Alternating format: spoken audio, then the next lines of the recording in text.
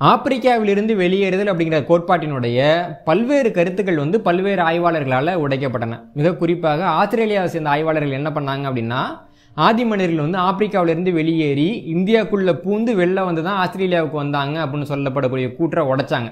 அவங்க என்ன சொன்னாங்கன்னா ஆஸ்திரேலியாவுக்குள்ளேயே வந்து அறுபத்தைந்தாயிரம் ஆண்டுக்கு முன்பாக ஹோமோசெப்பியன்ஸ் வந்துட்டாங்க அப்படிங்கிறத நிரூபித்து காமிச்சாங்க. அப்போ அந்த ஆண்டுங்கிறது கேள்விக்குறியாச்சு. அதே மாதிரி இந்தோனேஷியாவில் நடந்த ஆய்வுகளில் பார்த்தோம் அப்படின்னா அறுபத்தெட்டாயிரம் ஆண்டுகளுக்கு முன்பாகவே ஹோமோசிபிட்ஸ் அங்கே வந்துட்டாங்க அப்படின்ற சான்றுகள் கிடைச்சது. இஸ்ரேல் நாட்டில் பார்த்தோம் அப்படின்னா ஒரு லட்சத்தி எண்பதாயிரம் ஆண்டுகளுக்கு முன்பாகவே அங்கே வந்து ஹோமோசிபியன்ஸ் இருந்தாங்க அப்படிங்கிறதுக்கான ஆதாரங்கள் கிடச்சிது. இப்போ வட இந்தியாவில் பார்த்தோம் அப்படின்னா அந்த சிப்பி மேடுகள் கிடைக்காத காரணத்தினால வட இந்தியா வழியாகத்தான் வந்து ஹோமோசெப்பியன்ஸ் இந்தியாவுக்குள்ளே வந்தாங்களா அப்படிங்கிற அந்த கருதுகோள் வந்து கேள்விக்குறியானது.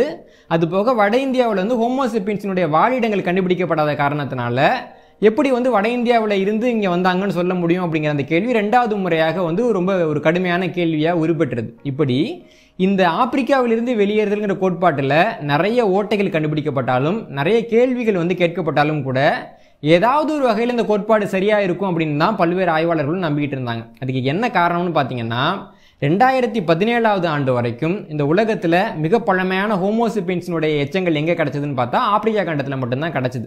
ரெண்டாயிரத்து பதினேழாவது ஆண்டில் இன்னொரு மிக முக்கியமான ஒரு ஆதாரம் வந்து ஆப்பிரிக்காவில் கிடைச்சது. அது என்ன ஆதாரம் அப்படின்னு பார்த்தோம்னா ரெண்டாயிரத்தி பதினேழாவது ஆண்டில் ஆப்பிரிக்காவில் இருக்கக்கூடிய மொராக்கோ அப்படிங்கிற நாட்டில் ஜபல் இர்ஹவுட் அப்படிங்கிற ஒரு குகையில் ஒரு மண்டை ஓடு கிடச்சிது. இந்த மண்டை ஓடு ஹோமோசிப்பியன்ஸ் மனிதனுடைய மண்டை ஓடு.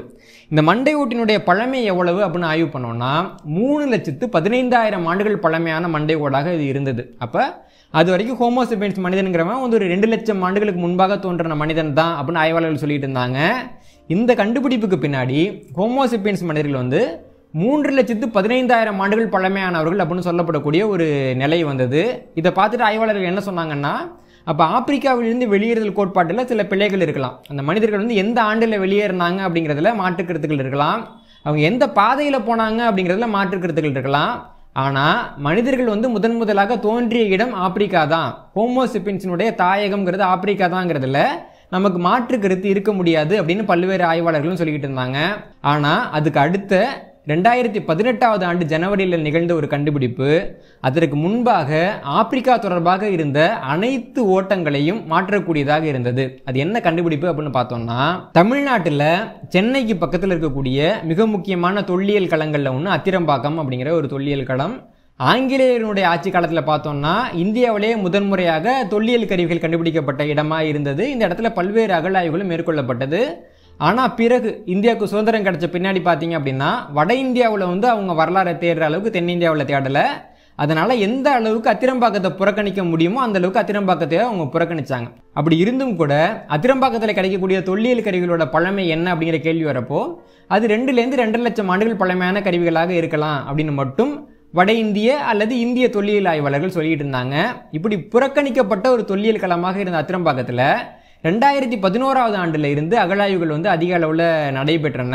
அதன் விளைவாக மிக முக்கியமான கண்டுபிடிப்புகள் பற்றி ரெண்டாயிரத்தி பதினெட்டாவது ஆண்டு ஜனவரியில் ஒரு அறிவிப்பு வெளியானது. அது என்ன அறிவிப்புன்னு பார்த்தோம்னா அந்த அத்திரம்பாக்கம் களத்தில் வந்து ஆய்வு மேற்கொண்டிருந்த சாந்தி பாப்பு குழுவினர் மிக முக்கியமான ஒரு ஆய்வறிக்கையை கொடுத்துருந்தாங்க. அந்த ஆய்வறிக்கையின்படி அதிரம்பாக்கம் பகுதியில் கிடைச்ச ஏழாயிரத்திற்கும் மேற்பட்ட சில்லு கருவிகள் அல்லது நவாசியன் கருவிகள் ஆய்வு செஞ்சப்போ அந்த கருவிகளினுடைய அதிகபட்ச பழமை அப்படிங்கிறது மூன்று லட்சத்து எண்பத்தைந்தாயிரம் ஆண்டுகளாக இருக்கும் அப்படின்னு அவங்க ஆய்வில் சொல்லியிருந்தாங்க. அதாவது இந்த சில்லு கருவிகள் அல்லது நவாசியன் கருவிகளை பார்த்தோம் அப்படின்னா இந்த கருவிகளை முதன் முதலாக பயன்படுத்தியவர்கள் ஹோமோசிபியன்ஸ் தான் அப்படின்னு பல்வேறு ஆய்வாளர்களும் நம்புகிறாங்க இந்த கற்கால மனிதனுடைய காலத்தை பிரிக்கிறப்போ இந்த சில்லு கருவிகள் வந்து அது ஹோமோசிபியன்ஸ் காலம் அப்படின்னு தான் காலங்காலமாக பிரிக்கிறாங்க. இதை வச்சு பார்க்குறப்போ தமிழ்நாட்டில் அத்திரம்பாக்கம் பகுதியில் கிடைச்ச அந்த சில்லு கருவிகளுடைய பழமை அப்படிங்கிறது மூன்று லட்சத்து எண்பத்தைந்தாயிரம் ஆண்டுகள் வரை அப்படின்னா தமிழ்நாட்டில் ஹோமோசெப்பின்ஸ் மனிதர்களுடைய பழமை அப்படிங்கிறதும் மூன்று லட்சத்தி எண்பத்தைந்தாயிரம் ஆண்டுகள் தான். அடுத்ததா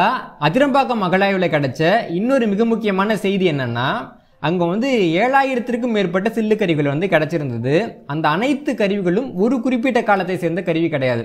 மாறாக அதிகபட்சமாக மூன்று லட்சத்தி எண்பத்தைந்தாயிரம் ஆண்டுகள்னா குறைஞ்சபட்சமாக ஒரு லட்சத்தி எழுபத்தி ரெண்டாயிரம் ஆண்டுகள் அப்படின்னு சொல்லப்படக்கூடிய அளவுக்கு ஒரு லட்சம் ஆண்டுக்கு தொடர்ச்சியான சில்லுக்கருவிகள் வந்து இங்கே கிடச்சிருந்தது. அதாவது மனிதர்கள் வந்து அங்கே தொடர்ச்சியாக வாழ்ந்துக்கிட்டே இருந்திருக்காங்க.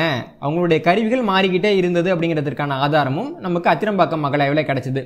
இந்த அகழாய்வு முடிவுகள் மூலமாக நமக்கு தெரிய வந்த செய்திகள் என்ன அப்படின்னு பார்த்தோம்னா உலகத்தில் ஹோமோசெப்பியன்ஸினுடைய எச்சங்கள் வந்து ரொம்ப பழமையான எச்சங்கள் எல்லாமே ஆப்பிரிக்காவில் தான் கிடைக்கும். வேற எங்கேயுமே கிடைக்காது அப்படிங்கிற ஒரு கோட்பாடு இந்த ஆய்வின் மூலமாக முறியடிக்கப்பட்டது.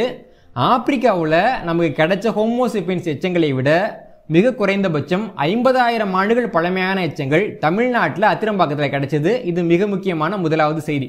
ரெண்டாவது செய்தி என்ன அப்படின்னு பார்த்தோம்னா தமிழ்நாட்டில் ஹோமோசிபின்ஸ் மனிதர்கள் வந்து எங்கிருந்தோ இல்லை அவங்க காலம் காலமாக இங்கு வாழ்ந்தார்கள் அப்படிங்கிற ஒரு தரவு நமக்கு கிடைச்சிது. ஏன்னா ஆப்பிரிக்காவிலிருந்து வெளியேறுதல்ங்கிற கோட்பாடு எப்படி வந்தது? ஆப்பிரிக்காவில் பார்த்தோம் அப்படின்னா ரெண்டு லட்சம் ஆண்டுக்கு முற்பட்ட அந்த கருவிகள் கிடச்சிது. தமிழ்நாட்டில் ஐம்பதாயிரம் ஆண்டுகளுக்கு முற்பட்ட சில்லு கருவிகள் தான் கிடைச்சது. ரெண்டுக்கும் நடுவில் ஒன்றரை லட்சம் ஆண்டுகள் இடைவெளி இருந்தது அப்படிங்கிறப்ப தான் இந்த இடைவெளியில் மக்கள் இங்கே இல்லை அங்கேருந்து வந்தாங்க அப்படிங்கிற ஒரு கோட்பாடு முன்வைக்கப்பட்டது. ஆனால் அத்திரம்பாக்கத்தில் இருந்த கருவிகளில் பார்க்குறப்போ அந்த கருவிகளில் தொடர்ச்சி இருக்குது அப்படின்னு சொல்கிறாங்க அப்போது தொடர்ந்து மனிதர்கள் இங்கே வாழ்ந்திருக்காங்க அப்படிங்கிற ஒரு கோட்பாடு இங்கே வர்றப்போ ஆப்பிரிக்காவிலேருந்து மனிதர்கள் வந்தாங்கன்றது கோட்பாடு அடிபட்டு போகுது. யாரும் இங்கே வரல. இங்கே மனிதர்கள் இல்லாத காலகட்டம்னு ஒன்று இல்லை. தமிழர்கள் தமிழ்நாட்டிலே லட்சம் ஆண்டுகளாக தொடர்ந்து வாழ்ந்து கொண்டிருந்தார்கள். அவர்கள் வந்து வேறு இடத்திலிருந்து வந்தார்கள் என்று சொல்லத்தக்க இடைவெளிகள் எதுவுமே இல்லை அப்படிங்கிற ரெண்டாவது மிக முக்கியமான தரவையும் இந்த அத்திரம்பாக்கம் அகழாய்வு கொடுத்தது.